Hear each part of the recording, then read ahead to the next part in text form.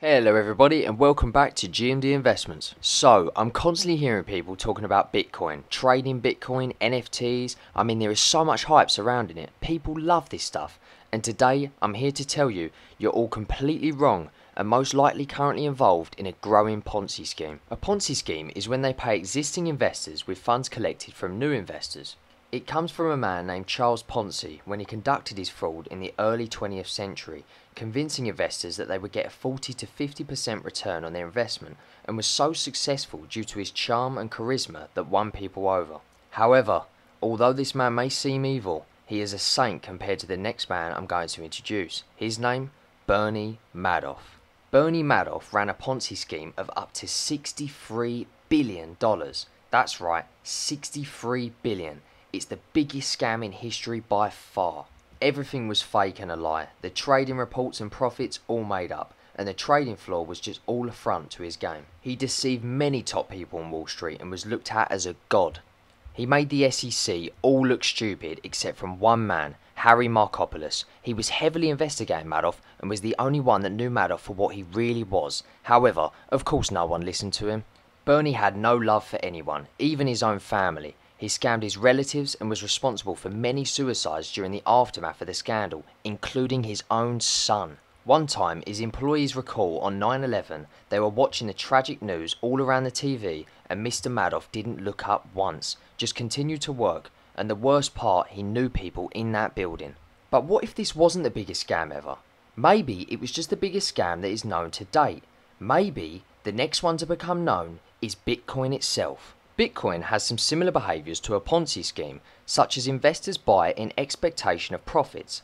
That expectation is sustained by the profits of those that cash out, but there is no external source for those profits. They come entirely from new investments, and the operators take away a large portion of the money. In its cash flow, Bitcoin resembles a penny stock pump and dump scheme.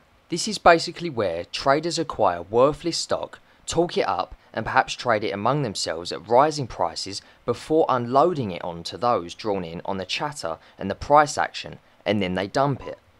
This is what precisely happened in the film Wolf of Wall Street, where Jordan Belfort is teaching his army how to be relentless on the phone and convince people to buy these crappy companies. Like a pump and dump scheme, Bitcoin taps into the pure desire for capital gains. Buyers cannot stand the sight of friends getting rich overnight. They suffer an acute fear of FOMO. However, having said all of this, my word probably doesn't mean much to you at all, so I've brought some backup with the biggest, most reputable figures in finance. Jamie Dimon, who is the CEO of the biggest bank in the world, being JP Morgan, states Bitcoin itself is a hyped up fraud, it's a pet rock.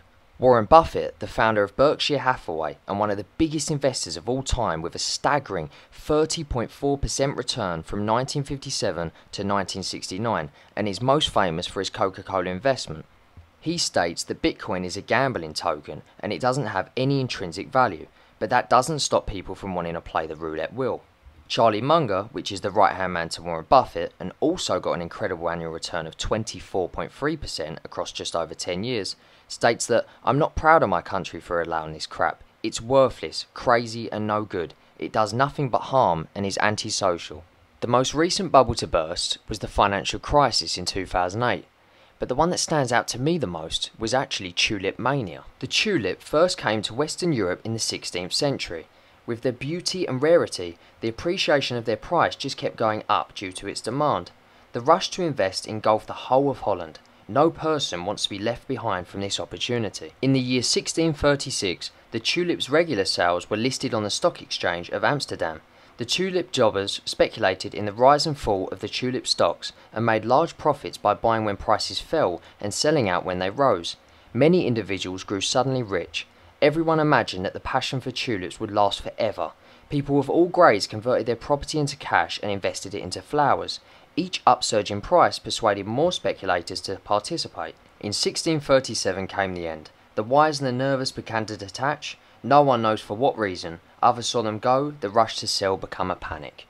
So, in conclusion to all of this that I've said today, I think you'd have to be absolutely crazy to put your money in Bitcoin. Um, like I said, it holds no value. You, when you buy Bitcoin, you're just hoping that someone pays a higher price. it's just gamble. It's a form of gambling. There's no, it's not producing any value. It's not like buying Apple and that's going to produce you a higher, you know, return on investment over time. Bitcoin is just a bubble that is forming, you know, and it's just people are going out there and they're saying, oh, it's the next big thing, it's the future, is this, is that, just like a pump and dump scheme, just like when you watch Jordan Belfort on that phone, it's the same thing.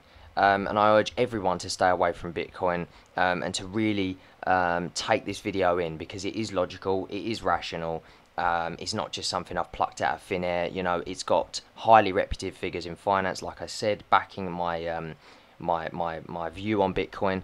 Um, and yeah, so I hope you enjoyed this video. Until next time.